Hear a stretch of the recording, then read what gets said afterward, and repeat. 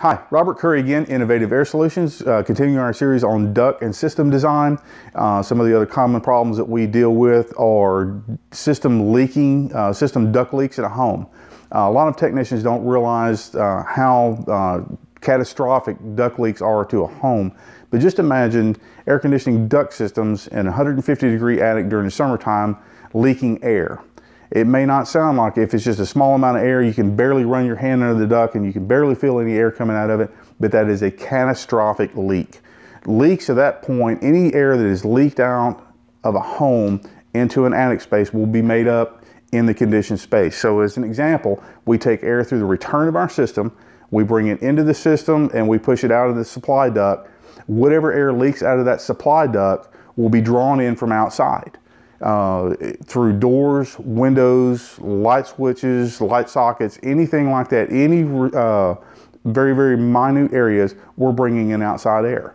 Now, think about it as it becomes middle of summertime, we're, we're in high 90s for temperatures, we have high humidity levels, we have high dust levels. Uh, these problems just exacerbate and it actually becomes a perpetual machine that begins to feed itself. The larger the duct leaks, the more air we leak out in the attic, the more outside air we draw in that's unconditioned, that's full of humidity, full of dirt and dust. Uh, so these type problems are really uh, catastrophic to a home. Other factors that are also included in it is clothes dryer. A clothes dryer is, as an example, will, will exhaust 100 cubic feet of air per minute. So as long as that dryer is running, we're blowing 100 cubic feet of air per minute out of our home through mechanical ventilation through our dryer. Our dryer exhaust is blowing hot air, hot humid air out to the outside, which we think is a good thing.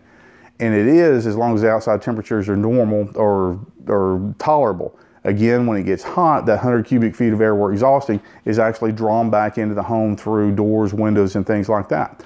Uh, I have a uh, simple printout uh, about common air leaks. And this kind of uh, uh, illustrates our example. Uh, we have air leaks in a duct system. Every, for every cubic feet of air per minute of duct leaks we have leaking out in the attic, we're drawing in from outside. Is everything in nature tends to try to equalize. Hope this has been helpful to you today, just to kind of something to think about uh, if you run across problems of homes uh, that, that, cannot seem to be cooled. Uh, you might start with a duct system if the system charges are right, if the temperature splits on the equipment are right. We'll get into these things a little bit later in, in our series. Um, but duct leaks can play a huge part uh, in, in diagnosing these problems. Thank you very much and have a great day.